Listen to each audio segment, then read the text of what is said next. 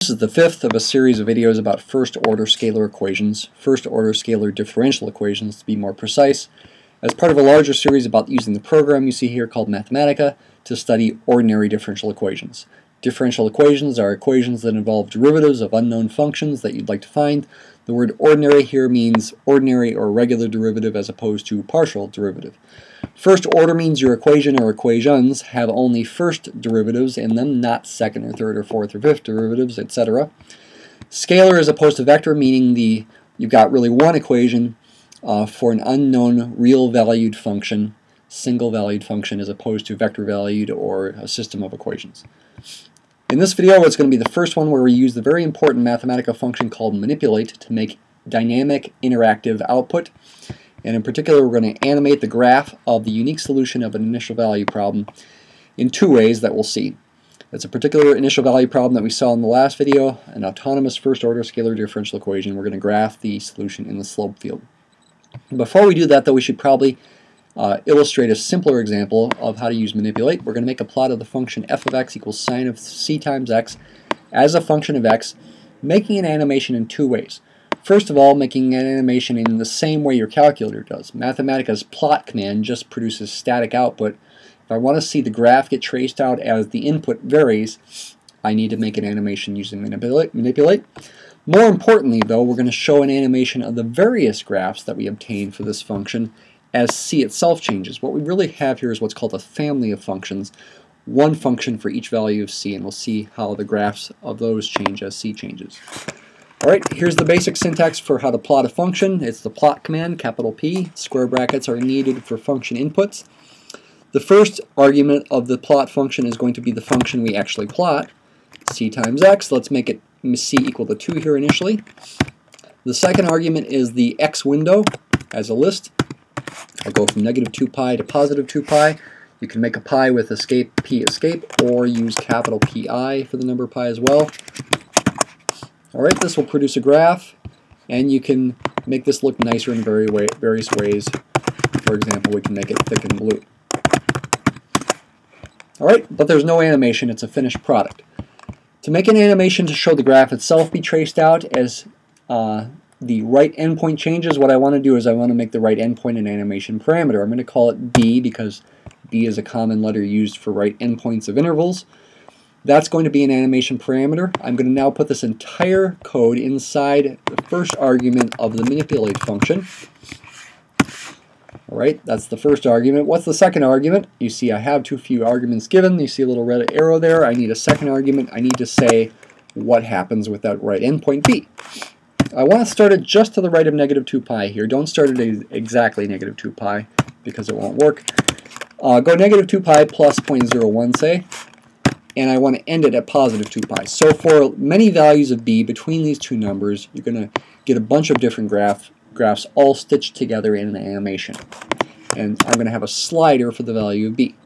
What we see here yet right now is not quite ideal though, as I play the value of b. Because the plotting window doesn't stay fixed, it, it's kind of fun to look at, but it probably would be better to keep the plotting window fixed. I can fix that with plot range. Capital P, capital R, arrow, uh, in the x direction, let's go from negative 2 pi to positive 2 pi, and in the y direction, let's go from negative 1 to 1. Sometimes you also have to use axis origin uh, to fix the origin, but now uh, it is fixed. We don't need that. Alright, so that's just what the calculator would produce. What if I now want to do the extra thing, the more important thing, replace the, the 2 with a c, and let c change. First of all, if you do replace the 2 with a C like this, don't stop there because this is not quite going to work. When these variables are next to each other, cx, Mathematica thinks of that as one variable, cx. Alright, that will not work. I either need a space there to multiply them, or as a default, I almost always try to put a star in there to multiply them. I also need to see, say what c varies over. Go over here, put a comma. Let's start c at, say, the value 1 and go up to 5. You should take a moment to think about what you think will happen here. What happens as the value of c changes? c starting out at 1 here. As c increases, think about it, it's c times x in the argument of the sine function. That's going to correspond to a horizontal compression as c increases. Alright, and that is the new thing here. We want to do something similar to this now with our main example here. Here's our differential equation from the last video that we solved. We found the general solution. We also solved an initial value problem where y of 0 was equal to 2. Now I am making the initial value of y being be fixed but unspecified. So I am imagining y sub 0 as being some fixed number like 2 or 3 or 4, but I'm not saying what it is. Because it is something specific, it's fixed, even though it's unspecified, I should have said it's fixed, not, not specific. Um, it is still a unique solution that we're going to find with dsolve. We're also going to graph that solution in the slope field, and now the important part, make an animation in two ways, showing how the value, the output of the solution changes as t increases, show the graph get traced out, and more importantly, show how the solution curves themselves change as the initial condition, the initial value of y changes y sub 0 is going to be really the y-intercept because it's going through the point t equals 0, y equals y0. Alright, here's the Mathematica code dsolve that will solve the initial value problem. Notice the initial value y is y0. I'm not writing it as a subscript there, but that's fine. And here's what dsolve produces. You can ignore the error there, it still works. Inverse functions are being used. This is, this is right. That is uh, for a fixed value of y sub 0 or y0 for short, the unique solution of this initial value problem. Here's the work you could show by hand to do it, uh, using the general solution in this form to solve for the value of c to get this, which works as long as you're not dividing by 0. However, when you, simplify, when you plug it in for c and then simplify, you actually get a function that does work no matter what y0 is. Even if y0 is 0, uh, this works. In that case, you would get the function y is always 0, the constant function whose graph is a horizontal line on the horizontal t-axis.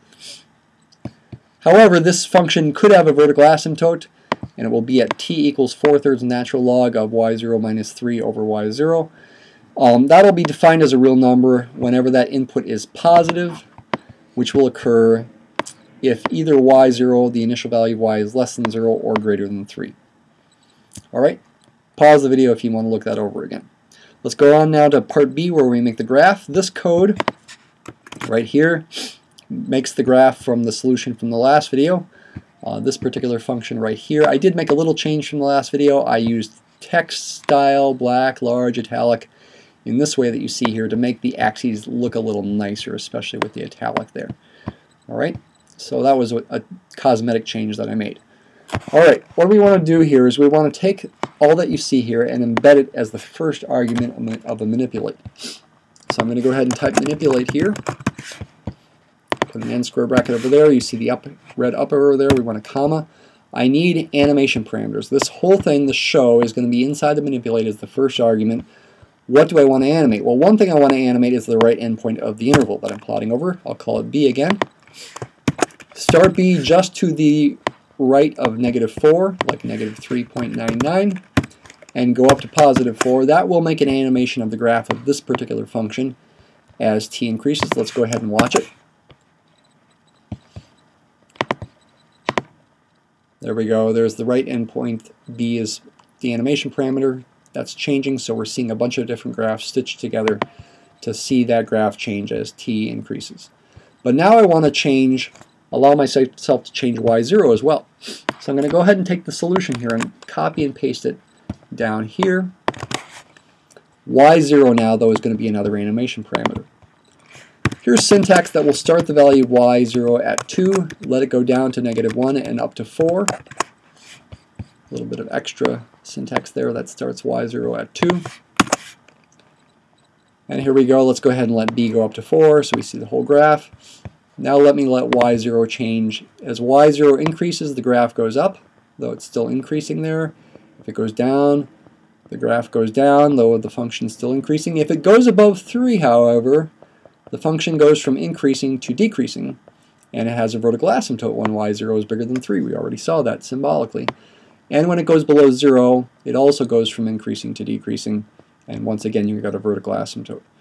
That vertical line there is not part of the graph. Uh, Mathematica is just connecting the dots. You can actually get rid of it with a command called exclusions. I think perhaps in the next video I'll do that. What happens when y0 is exactly 3? Take a second to think about that. You should get a horizontal solution. a constant function, y always equals 3 for all values of t that solves the differential equation. That's called an equilibrium solution. That also happens when y0 is 0, though we won't see it because it's behind the t-axis. Uh, the t-axis there is in bold black. It's overriding where, where the blue curve is, but it's there, just hidden. y equals 0 all the time also is another equilibrium solution. Okay, so this is very important, I think, to, to realize you get a bunch of different solutions for different values of y0, and a couple of them are constant functions. Again, those are called equilibrium solutions.